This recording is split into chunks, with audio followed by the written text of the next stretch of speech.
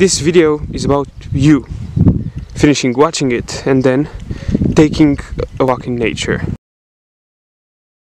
Also, if you like what you're seeing, check out my Instagram, link in the description. And I side note, I just saw a fox eating the crap that's here. Hello and how is it going? I uh, hope you're having a good day. I for myself am having a great day. Sorry for the lack of good audio and maybe jump cuts as I can't really talk to a camera in the public yet and uh, as you can see here there are some some houses although it feels much better than when I tried to do this in the city. It's badly raining and I'm on a pretty much a dirt road with a little bit of pavement, let's say a little bit of gravel, walking, taking a casual hike, let's say. And I, I couldn't feel better. I haven't really talked much about this, but I really enjoy walking in nature or, or not, but preferably in this kind of setting, or you know, even a more uh, forest or mountain hike actually on something that isn't a public road. This view, it's nice. It's nice having a holiday and seeing these kinds of things. Also, sorry for the lack of good video. What are your hobbies? I, for myself, as you can see, well, everything on this channel really is my hobby. And uh, there are a few that I haven't talked about. This one being one, or other sports, other outdoor activities slash sports.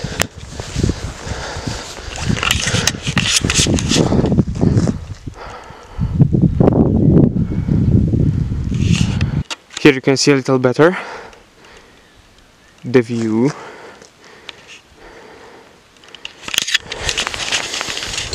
Well, really, the, the only thing I, I could say is that this video is an encouragement. Walking in nature, well, yeah, this is nature. makes me feel good. Makes me feel safe in a way. There's there's a certain feeling in the city. It kind of disappears here. It isn't necessarily more slow here. Just more relaxing. You can see you can see the hills over there. There should be some mountains, and um, well, I've made it to the top of the hill.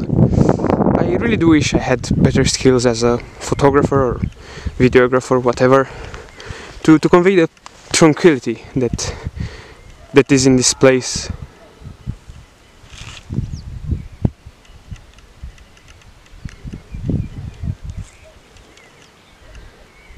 Except for this, that scream. That was pretty weird and rather unsettling. It is a little bit unfortunate for the clouds and uh, because I have to underexpose a little bit, but uh, the scream was actually for me. The, the people that I'm staying with saw me and, uh, and decided that hey, screaming should be fun for him because he, he'll know nothing bad happened and uh, we just want uh, him to see us.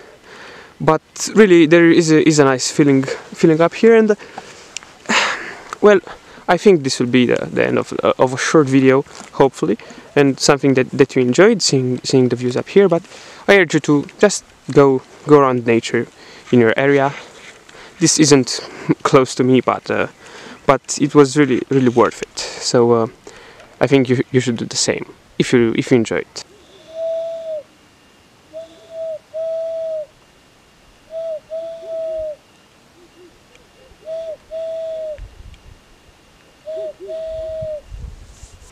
Just go, take a walk in nature. I could spin this in a hundred philosophical ways and uh, talk about the road of life and stuff like that. Nah, just take a walk in nature.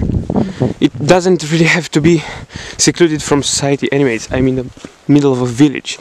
You can see posts and houses and whatnot. So if you're in a city, hey, just go in a park. Take a walk in nature. You don't have to be well dressed.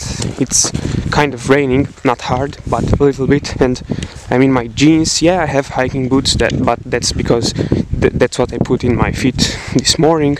And I have the cheapest rain jacket from Decathlon bought a few years ago, and a cheap backpack that I take anywhere with me. Just go take a walk in nature. You feel better.